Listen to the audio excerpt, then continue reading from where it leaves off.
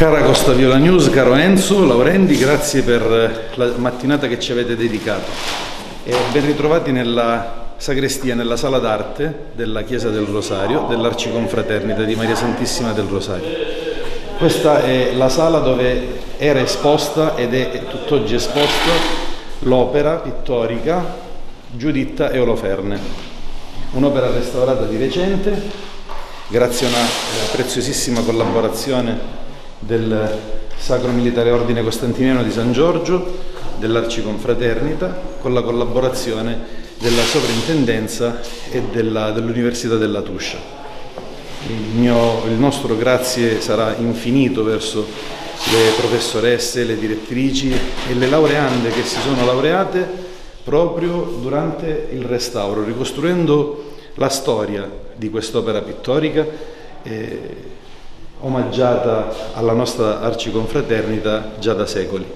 La nostra arciconfraternita viene fondata intorno al 1584, ma eh, eh, purtroppo i nemici della storia sono i terremoti, gli incendi e le guerre. E il grande flagello del 1783 ha cancellato buona parte della nostra storia, tant'è che l'unico documento, che è il documento più antico, ci, fa, ci riporta al 1632. Ecco perché eh, nelle nostre manifestazioni, nelle, eh, nelle, nostre stampe si fa riferimento a questo 1632.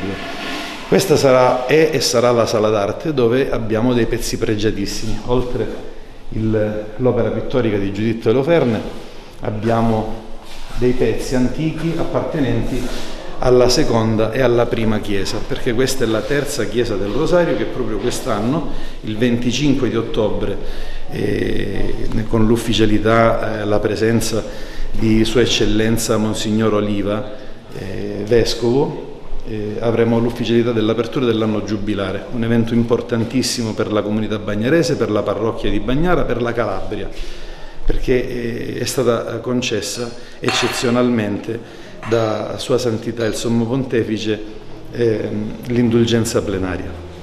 E in questa stanza troviamo altri, eh, altri manufatti eh, antichi, qui abbiamo uno stensorio, verrà esposto per le Sacre 40 ore nel mese di fine mese di ottobre, fine festeggiamenti del mese della Madonna del Rosario. E poi anche in, eh, in attesa della Santa Pasqua eh, un'altra opera antichissima risalente alla prima chiesa del Rosario è il Padre Eterno. Eh, in Italia probabilmente l'unica scultura del Padre Eterno, perché vi sono riproduzioni pittoriche, mosaici, ma sculture eh, ufficialmente non abbiamo, non abbiamo tracce. La nostra pare sia l'unica. Come vi dicevo, qui abbiamo l'opera pittorica antica e qualche accessorio che i nostri sacerdoti, i nostri vescovi, quando officiano le messe solenni, li portano indosso per officiare la messa. Io vi ringrazio nuovamente di tutto a nome della famiglia Parisio, a nome del Consiglio di cui ho l'onore di farne parte e sicuramente ci saranno tantissime altre occasioni eh, in un anno giubilare ricchissimo di eventi.